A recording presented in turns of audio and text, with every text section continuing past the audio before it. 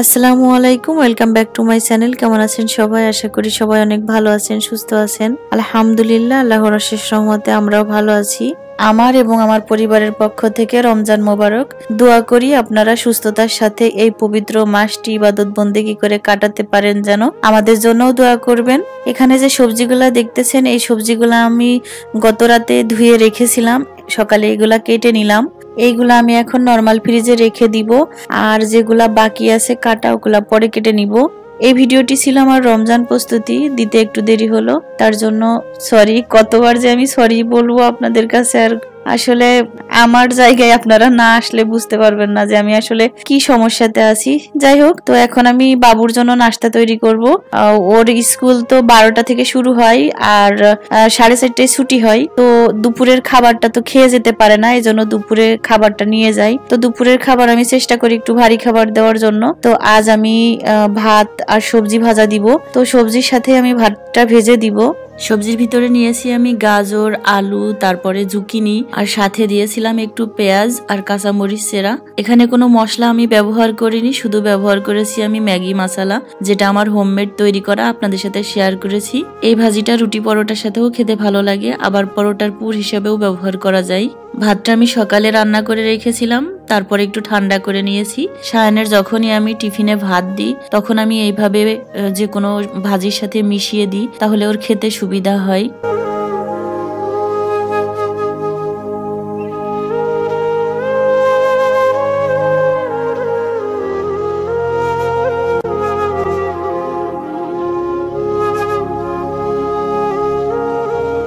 তো ভাতটা একেবারে ঠান্ডা হওয়ার পরে আমি একটু শশা কুচি করে দিয়েছি।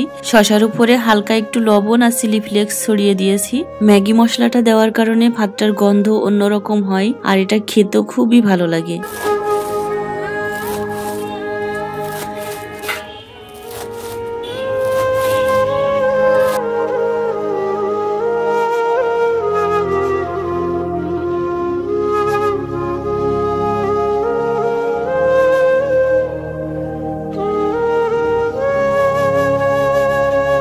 মাছের ডালের সাথে পালন শাক রান্না করব। তো আমি এখানে ফোড়ঙে রসুন, শুকনা মরিচ আর সরিষা দিয়েছিলাম। এই রান্নাটাতে পালন শাক সিদ্ধ করে তারপরে কুচি করলে বেশি ভালো হয়। তো একটু মিহি কুচি করে নিতে হবে। লবণ দিয়ে দিচ্ছি পরিমাণ মতো। এখানে আমি মাছের ডালের গুঁড়া নিয়েছি। আমারটা একটু বেশিই গুঁড়া হয়ে গিয়েছিল। এর ভিতরে দিয়ে দিচ্ছি আমি পরিমাণ মতো পানি। ভালো করে গুলিয়ে নিতে হবে যেন কোনো লাম্পস না থাকে। এর ভিতরে আমি এখন সব ধরনের মশলা দিয়ে দিব।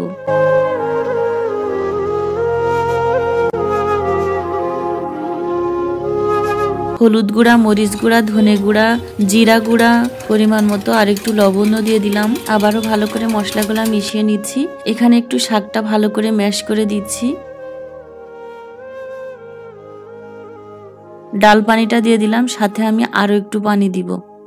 একটু বেশি পরিমাণে পানি দিতে হবে, না হলে তাড়াতাড়ি ঘন হয়ে আসবে, সিদ্ধ হবে না। এটা আমি এইভাবে জাল করতে থাকব, জাল করতে করতে যখন ঘন হয়ে আসবে, তখন এটা আমি নামিয়ে নিব। এখানে আর কোনো রকম কোনো কিছুই করা লাগবে না।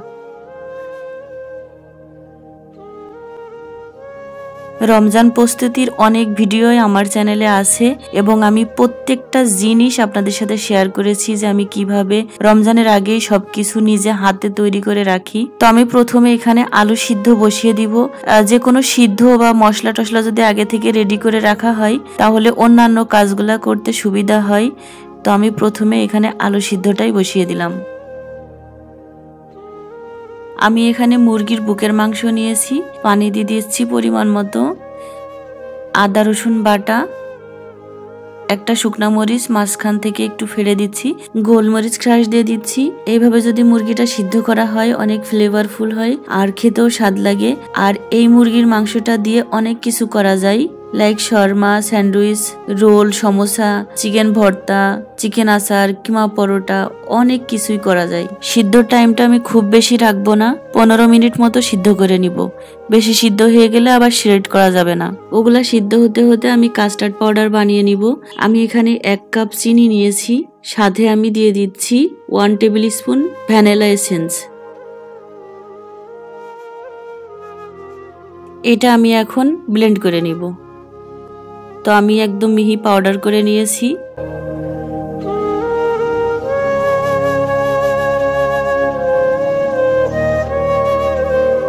আমি যেই কাপে চিনিটা নিয়েছিলাম, সেই কাপ দিয়ে মেপে হাফ কাপ আমি এখানে কর্নফ্লাওয়ার, হাফ কাপ গুঁড়া দুধ দিয়ে দিচ্ছি।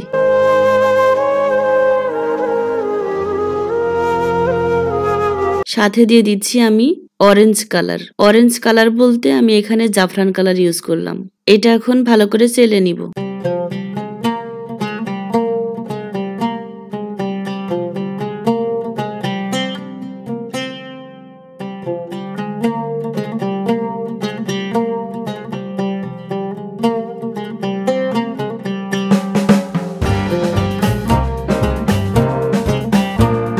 খুব সহজেই তৈরি হয়ে গেল কাস্টার্ড পাউডার। এখন তৈরি করব ট্যাঙ্ক। অনেকবার আমি ট্যাঙ্ক তৈরি করে আপনাদেরকে দেখিয়েছি তারপরে এবার একটু দেখিয়ে দিই। এখানে আমি এক বাটি নিয়েছি চিনি, ওই বাটিটার হাফ বাটি নিচ্ছি আমি গ্লুকোজ। আমি এখানে ডাবরের ইন্ডিয়ান গ্লুকোজটা ব্যবহার করছি।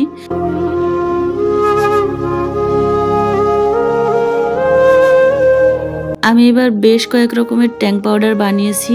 তার ভিতরে বানিয়েছি pineapple, lemon, strawberry, mango, orange. এখানে সব ধরনের এমালশন আছে। একজন আপু আমাকে কমেন্ট করেছিলেন, উনি ট্যাঙ্ক পাউডার দিয়ে মিল্কশেক তৈরি করছিলেন। তো মিল্কশেকটা ফেটে গিয়েছিল। আসলে যে সাইট্রিক অ্যাসিড ব্যবহার করা হয়, সাইট্রিক অ্যাসিড তো টক, যার কারণে কিন্তু দুধটা ফেটে গিয়েছিল। তো এখন আমি স্ট্রবেরি ফ্লেভারের একটু ট্যাঙ্ক পাউডার বানিয়ে দেখাচ্ছি। যেহেতু বাচ্চারা মিল্কশেক পছন্দ করে আর স্ট্রবেরি ফ্লেভারেরটাই বেশি পছন্দ করে এই জন্য আমি এটা বানাচ্ছি।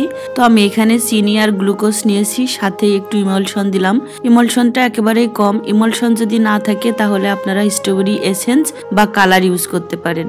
সাইট্রিক অ্যাসিড দিলে শুধু একটু দানা দানা হয় আর একটু টক টক লাগে, তাছাড়া কিন্তু এইভাবে খেলেও ভালো লাগে। তো জাস্ট এইভাবে বানিয়েই আপনারা মিল্কশেক তৈরি করতে পারেন। আর যারা মিল্কশেক তৈরি করবেন না তারা এই যে সামান্য পরিমাণ একটু সাইট্রিক অ্যাসিড দিবেন। আমি তো প্রথমেই চিনিটা গুঁড়ো করে আপনাদেরকে দেখালাম, কিন্তু সাইট্রিক অ্যাসিডটা প্রথমে দিয়েই গুঁড়ো করতে হবে। আমি বেশ অনেকটা পরিমাণ বানিয়ে নিয়েছি, আর এটা পুরোপুরি ঠান্ডা হওয়ার পরে আমি জারে ভরে দেখাচ্ছি। যখন অন্যান্য ফ্লেভারের বানাবেন, অবশ্যই সেখানে একটু লবণ দিয়ে দিবেন, সামান্য পরিমাণ একটু লবণ দিবেন, তাহলে খেতে ভালো লাগবে। এমলশন দিয়ে ট্যাঙ্ক তৈরি করলে খেতে যেমন ভালো লাগে, দেখতেও তেমন সুন্দর হয়।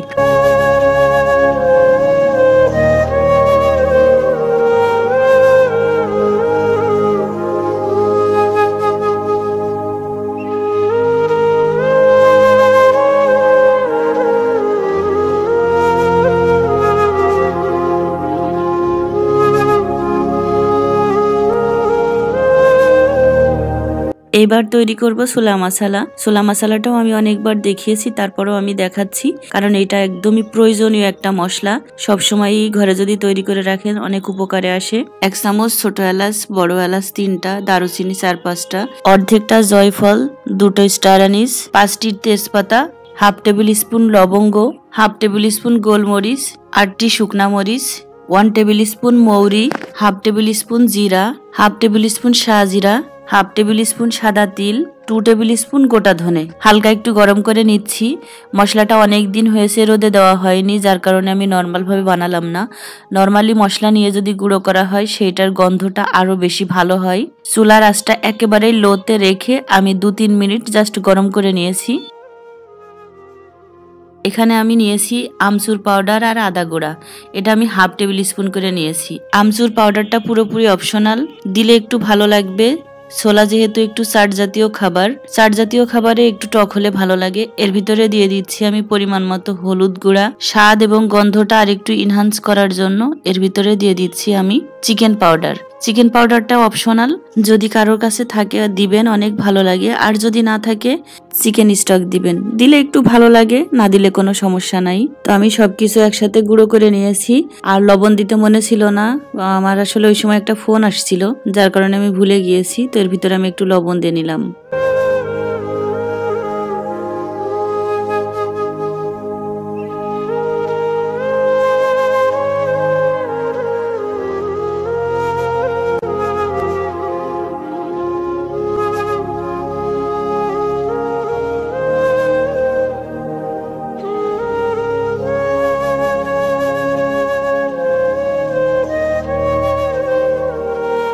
এখন আমি ওভেনে ব্রেড ক্রামস বানিয়ে নিব। তার জন্য আমি এখানে ব্রেডের যে ব্রাউন অংশটা আছে, ওইটা আমি রেখে দিচ্ছি।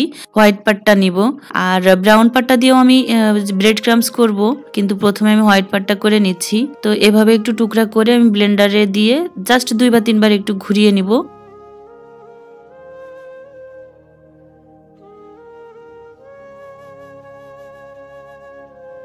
এটা আমি এখন ওভেনে দিয়ে দিচ্ছি। আমার টোটাল আমি তিন মিনিট দিয়েছিলাম। তো তিন মিনিটে মনে হয়েছে যে আর একটু কম দিলে কালারটা আরও বেশি সাদা হতো। আমারটা একটু ব্রাউন ব্রাউন মতো হয়ে গিয়েছিল। মাঝে মাঝে পুশ করে এভাবে একটু নাড়াচাড়া করে দিবেন। এতে করে সব পাশটাই ভালোভাবে শুকিয়ে আসবে। আমার কাছে চুলার থেকে অনেক সহজ মনে হয় ওভেনে ব্রেড ক্রামস করাটা। যদি আপনারা অরেঞ্জ ক্রাম করতে চান, এর ভিতরে প্রথমেই দিয়ে দিবেন জাফরান কালার জাফরান কালারটা দিয়ে ভালো করে মিশিয়ে তারপরে এভাবে শুকিয়ে নেবেন, তাহলে অরেঞ্জ ক্রাম হয়ে যাবে।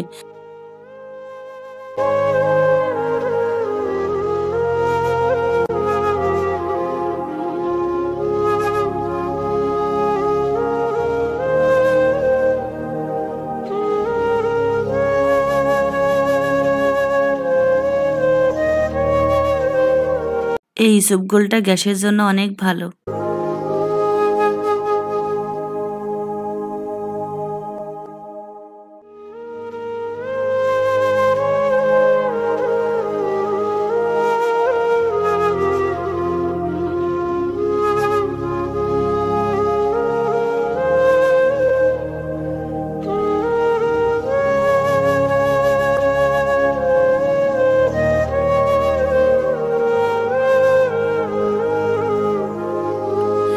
ভুসিটা তো যখন তখন ভিজে যায়, কিন্তু যে সিডসগুলো আছে এগুলো তো সহজে ভিজতে চায় না। তো আমি এখানে ভিজিয়ে রেখে দিচ্ছি। যখন এটা ভালোভাবে ভিজে যাবে, তখন আমি আইস ট্রে বক্সে রেখে দিব কিউব আকারে। জাস্ট শরবত গুলানোর সময় আইস কিউবগুলো দিয়ে দিব। আমি যখন করব, তখন অবশ্যই আপনাদের সাথে শেয়ার করব। চাইলে এর সাথে আপনারা একটু চিনি মিশিয়ে রেখে দিতে পারেন, তাহলে একবারে কাজ হয়ে যাবে। কাজ করতে করতে সময় হয়ে গিয়েছে, ক্ষুধাও লেগে গিয়েছে, তো আমি এখানে খাবারটা রেডি করে নিয়েছি। তো ডালটা অনেক মজা হয়েছিল। এইভাবে ডাল রান্না করলে অনেক মজা হয়। আর এটা আস্ত ডাল দিয়েও রান্না করা যায়। কিন্তু আমি সময়ের স্বল্পতা আর গ্যাস সাশ্রয়ের জন্য এইভাবে গুঁড়া করে রান্না করি। এটা ডাল বা ডালের গুঁড়া ছাড়াও কিন্তু আটা বা ময়দা চালের গুঁড়া দিয়েও করা যায়, শাক পিটালি বলে। সাথে একটু সালাদ নিয়েছি, মাছ ভাজা নিয়েছি আর মালটা নিয়েছি। মালটা দিয়ে ভাত খাওয়া আমার অনেক পছন্দ। যে আলুটা আমি সিদ্ধ করতে দিয়েছিলাম, আলুটার খোসা ছাড়িয়ে আমি কিছুটা এভাবে ম্যাশ করে রেখেছি আর কিছু গোটা রেখে দিয়েছি। ম্যাশ করাটাও আমার বিভিন্ন কাজে লাগবে, আবার গোটাটাও কাজে লাগবে। আর এইভাবে সিদ্ধ করে যদি ডিপে রেখে দিই, তাহলে গন্ধও হবে না নষ্ট হবে না, কালারটাও চেঞ্জ হবে না। মুরগির মাংসটা যে আমি সিদ্ধ বসিয়েছিলাম, সেইগুলো আমি শ্রেড করে নিয়েছি। কিছুটা আমি একটু মোটা মোটা শ্রেড করেছি, আর কিছুটা একেবারেই মিহি করে শ্রেড করেছি। মোটা যেটা শ্রেড করেছি, ওটা হাত দিয়ে করেছি। আর একদম মিহি করে যেটা করেছি, ওইটা আমি এই চপারে করে নিয়েছি। আমি এখানে প্যানে ওয়ান টেবিল স্পুন তেল দিয়ে নিয়েছি, আর এখানে পেঁয়াজ কুচি নিয়েছি চিলি ফ্লেক্স নিয়েছি, রসুন ক্রাশ নিয়েছি, আদা ক্রাশ নিয়েছি। সবকিছু একসাথে আমি তেলে ঢেলে দিলাম। খুব হালকা আছে, এটা আমি ভেজে নিব।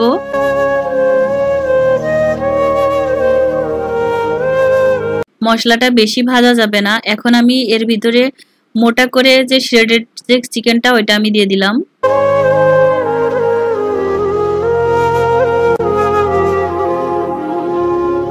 এখানে আমি নিয়েছি গাজর কুচি, ক্যাপসিকাম নিয়েছি তিন কালারের, আর বাঁধাকপি কুচি নিয়েছি। যে কোনো ধরনের সবজি দিয়ে করতে পারেন।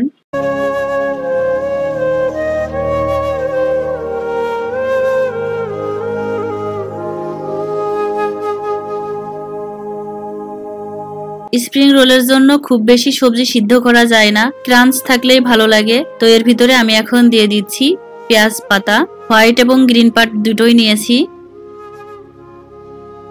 এর ভিতরে দিয়ে দিচ্ছি পরিমাণ মতো সয়া সস আর ওয়েস্টার সস পরিমাণ মতো লবণ। ওয়েস্টার সসটা যদি না থাকে chili sauce sweet chili sauce বা বার্বিকিউ সসও ব্যবহার করতে পারেন। আমি বার্বিকিউ সস ব্যবহার করে দেখেছি, ভালো লাগে। এখানে আমি ওয়ান টেবিল স্পুন কর্নফ্লাওয়ার নিয়েছি। কর্নফ্লাওয়ারটা পানিতে গুলিয়ে নিয়েছি। এটা এর ভিতরে দিয়ে দিচ্ছি আমি। কিছুক্ষণ নাড়াচাড়া করে আমি এটা নামিয়ে নিব। এখন আমি চিকেন সমোসার জন্য পুর রেডি করে নিব। তো আমি এখানে দুইটা পেঁয়াজ কুচি করে নিয়েছি, ধনে পাতা, কাঁচা মরিচ কুচি করে নিয়েছি। দিয়ে দিচ্ছি ম্যাগি মশলা। ম্যাগি মশলার পরিবর্তে ম্যাজিক মশলাও নিতে পারেন। এর ভিতরে দিয়ে দিচ্ছি আমি পেঁয়াজ পাতা কুচি। আর কিছু আমার নিমকি ভাজা ছিল, সেই নিমকি ভাজা দিয়ে দিচ্ছি। মিহি কুচি করে যে আমি চিকেন শ্রেড করে নিয়েছিলাম, সেইটার সাথে এখন ভালো করে মিশিয়ে নিচ্ছি। এটা না এভাবে খেতেও খুব ভালো লাগে। আমি যখন বানিয়েছিলাম তখন শুধু শুধুই অনেকটা খেয়েছি। এই পুরের ভিতরে একটু সরিষার তেল দিলেও খুব ভালো লাগে। চিকেন সমোসার পুর রেডি হয়ে গেল। এখন আমি বানাবো মিষ্টি সমোসার পুর। আমি এখানে একটা বড় সাইজের নারিকেল কোড়া নিয়ে নিয়েছি।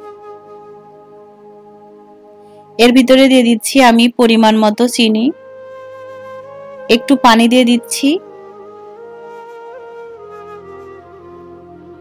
এর ভিতরে দিয়ে দিচ্ছি আমি এলাচের গুঁড়া। এলাচটা আমি বাসায় গুঁড়া করে নিয়েছি। দিয়ে দিচ্ছি আগে থেকে ঘিয়ে ভেজে রাখা কিশমিশ আর কাজু বাদাম। এটা আমি কিছুক্ষণ নাড়াচাড়া করে চিনির শিরাটা যখন শুকিয়ে আসবে তখন নামিয়ে নিব।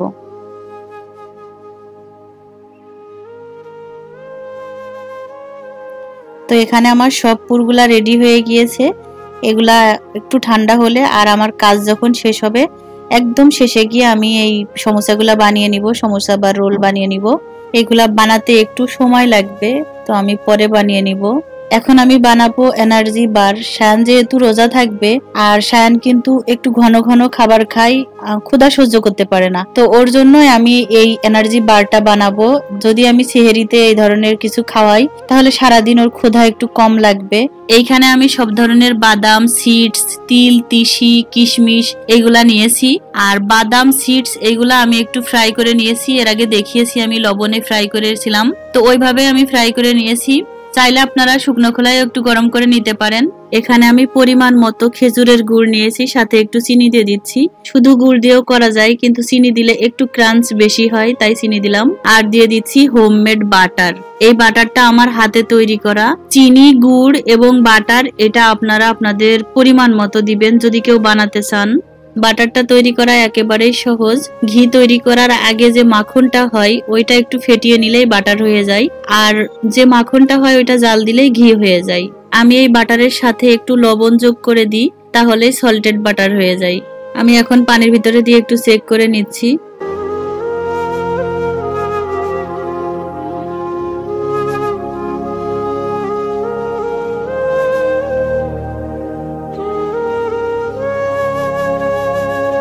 এর ভিতরে দিয়ে দিচ্ছি কিছু খেজুর কুচি আর কিছু নিমকি নিয়ে নিয়েছি।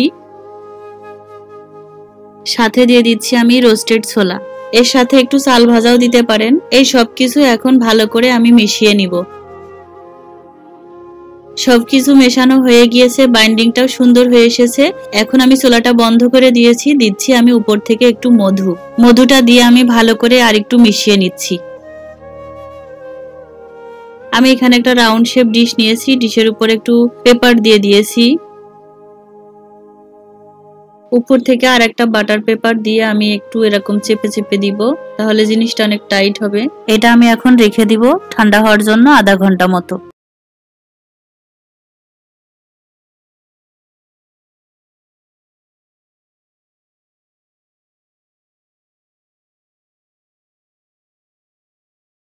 তো এটা আমি এখন পিস করে কেটে নিয়েছি, এটা এয়ার টাইট জারে রেখে দিব। আর এটা অনায়াসেই এক মাস ভালো থাকবে। এখানে যে জিনিসগুলা ব্যবহার করা হয়েছে, প্রত্যেকটা জিনিসই হেলদি এবং এনার্জেটিক তো অবশ্যই এইভাবে বার তৈরি করে রেখে দিবেন, বাচ্চাদের খাওয়াবেন। আমি যখন ভয়ে জবার করছি, তখন তো অনেকগুলা রোজাই কমপ্লিট হয়ে গিয়েছে। আলহামদুলিল্লাহ, সায়ন, সবগুলা রোজা আছে এবং পাঁচ ওয়াক্ত নামাজ, সাথে সাথে কোরআন, তারপরে খতম তারাবি পড়ছে। তো সবাই আমাদের জন্য দোয়া করবেন, আমার ছেলেটার জন্য দোয়া করবেন। এখন যে ভিডিও ফুটেজগুলা দেখতেছেন, এগুলা হচ্ছে পরের দিন সকালবেলা। আমি রাতেই এই রোল, তারপরে যে সমস্যাগুলো এগুলা বানিয়ে ফেলেছিলাম। আর এইগুলা বানাতে বানাতে আমার অনেক রাত হয়ে গিয়েছিল। ভিডিও করার কোনো এনার্জি আমি পাচ্ছিলাম না, তাই আর দেখাইনি। পুর তৈরি করা তো দেখিয়েছি। ওইটাই হচ্ছে আসল কাজ। পরে তো ইচ্ছা মতো বানিয়ে নেওয়া যায়। আর এখানে যে রেসিপিগুলো আমি করেছি, যেমন চিকেন ললিপপ চিকেন কাটলেট এগুলো সব রেসিপি আমার চ্যানেলে আছে। অবশ্যই রমজানের ভিডিওগুলা ভিজিট করবেন, পেয়ে যাবেন সব রেসিপিগুলাই তো এখন আমি ফ্রিজ গুছাবো। ফ্রিজ গুছানোর জন্যই আমি আবার সবকিছু বের করেছি। অনেকেই বলেন যে আপনি এত বক্স ফ্রিজে রাখেন, কীভাবে গুছিয়ে রাখেন অবশ্যই দেখাবেন। তো নেক্সট ভিডিওতে অবশ্যই আমি ফ্রিজটা দেখাবো না যে আমি কীভাবে গুছিয়েছি। জানি ভিডিওটা দিতে অনেক দেরি হয়ে গেল, কিন্তু আসলে আমি কি বলব আপনাদের সাথে? যাই হোক, তো আশা করছি আপনাদের ভিডিওটি ভালো লেগেছে। সবাই ভালো থাকবেন, দোয়া করবেন আমাদের জন্য। আপনাদের জন্য অনেক দোয়া রইল। আজকের মতো এখানেই রাখি। আল্লাহ হাফেজ।